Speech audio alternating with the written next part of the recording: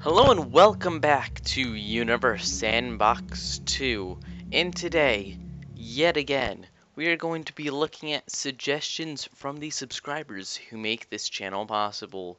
So, the real question is, which one is first? I'm just going to go from the most recent down. So, let's see the first suggestion. Make Jupiter the size of VY Canis Majoris. Okay, guys? Let's do it. Jupiter, let's quickly figure out the size of VY Canis Majoris. And that would be here. That's 17 suns. So we just have to go to Jupiter. Sun. 17 pause real quick. It looks like we have a supernova. So we're going to slow this down a very lot. And let this supernova do its thing. Now um, we have a... Um, that doesn't look like a black hole. It looks like we've actually created a pulsar. we have created a pulsar. And it's just going along doing its thing. Um, several planets aren't very happy. Uh, Earth, not really affected much actually. Oh. Not very affected except for the entire ocean, global ocean being completely destroyed. Um, no water left. All life gone. Oh, that's weird. The lights are on as if it's night. But there's no one left.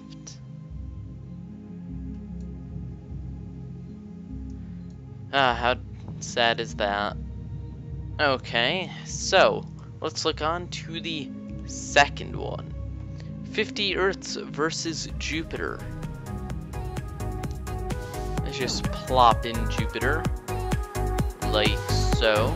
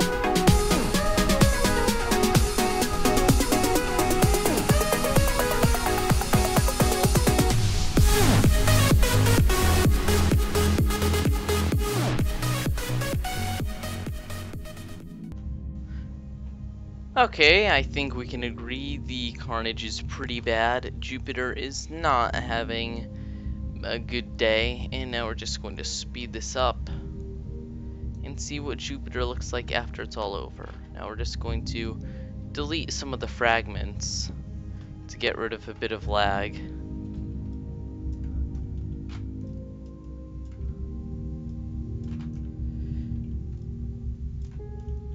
These won't affect it anyways.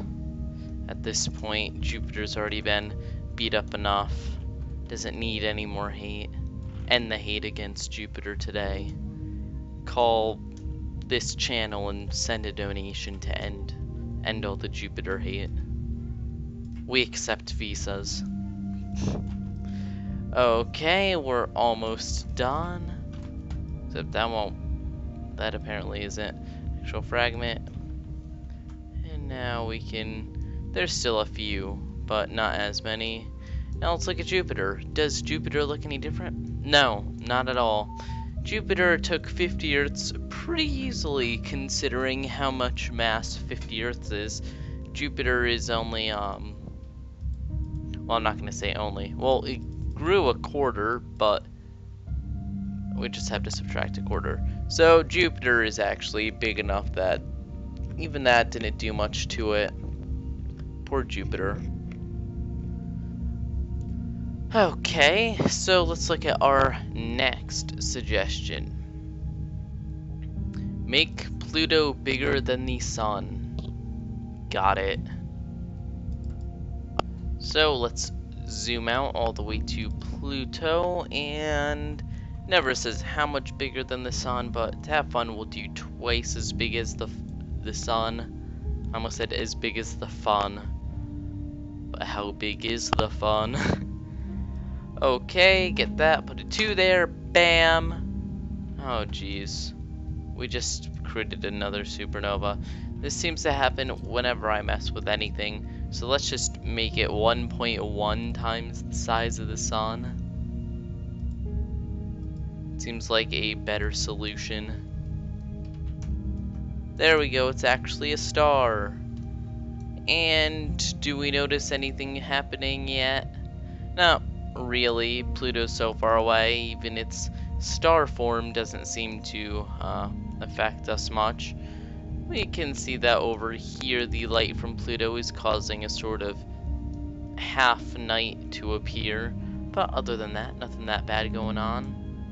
The question is when will the sun be attracted to Pluto? We're gaining some speed here, so let's speed things up. This is a few years, by the way, that's going by.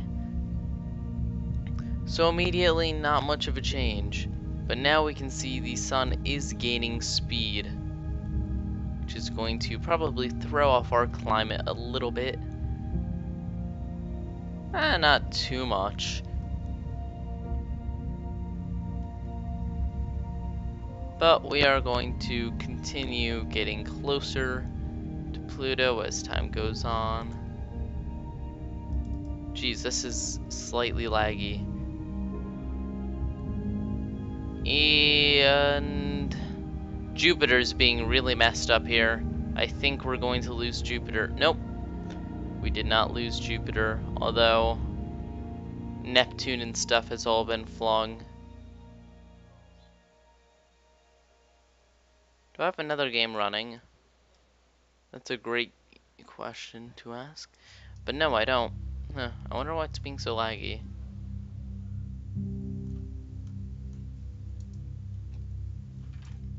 like last time, we can just delete a few unuseful things to lighten up the um, load on the computer.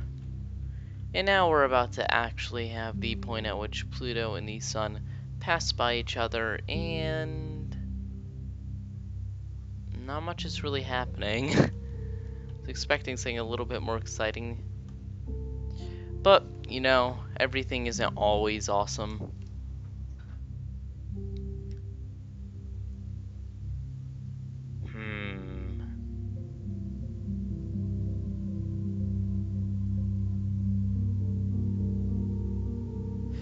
Okay, give Earth rings. See, that's actually really easy. And I will even do that on a cooler simulation. Earth and Moon will give the Earth really big rings that the Moon can just rip apart. Ring. Rings. Saturn. Add. Just add a few more. Just, you know, I guess I can only add one now. That's kind of disappointing.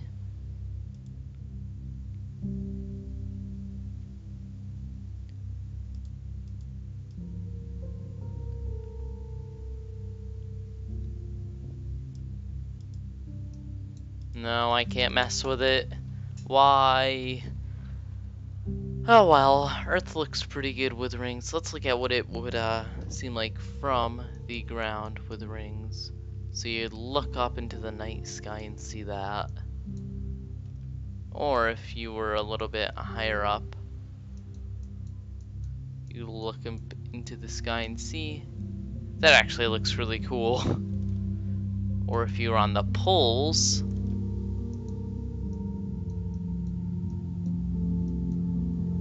And no matter really where you are, you don't see much of it, but here is definitely the best place to view it because you can look around and see pretty much the entire ring. You can also see the moon. How interesting. Well, there's Earth with rings, and here's the Earth being destroyed with rings. We... Ouch. You know, I know why it's lagging. I did something dumb a while ago. I put my settings on too extreme. And, well, they only really need to be on high. That really didn't fix anything.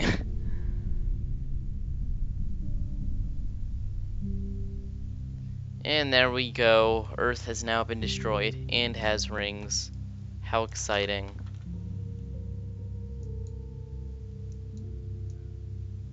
Do do. It's kind of uh, banged up, rough around the edges. Okay. Let's see.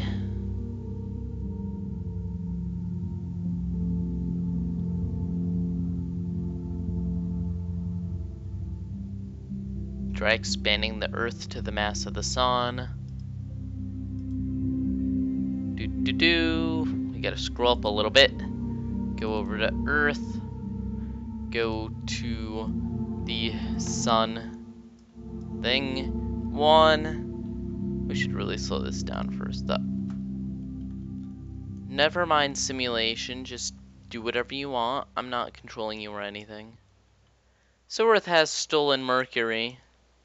Sun's feeling a little bit salty about that, so I think the Sun is going to try to get some of its planets back because now the Earth is also going to take Mars. Oh, jeez. Oh. Oh my. Mars it hit. Wow. Mars hit the uh, Sun Earth and actually made it explode. That was interesting. Did not expect that to happen. Um, learn something new every day. These have got to be big fragments. Yeah, they're all bigger than Earth because one sun is uh quite a bit.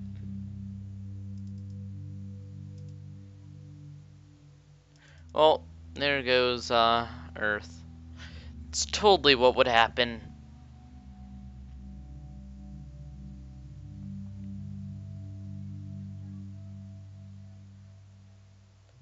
Do do do.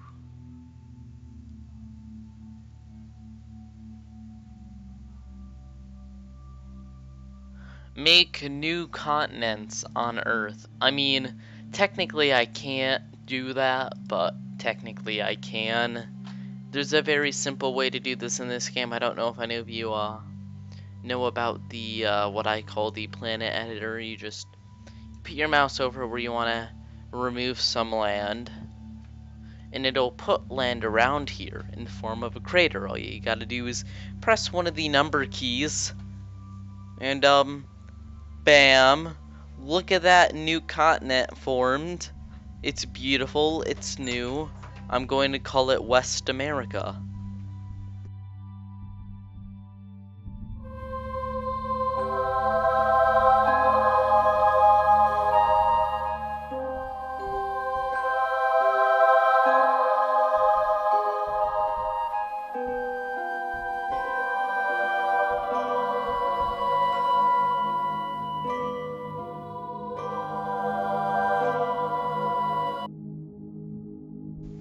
Okay, so uh, West America is doing well. We have quite a few smaller craters all over the place, or I'll call them, um... We've got more continents. Look at them all, even though they're gonna fill with water after they cool down. But, um, yeah. So you add land. It works every time. Guaranteed.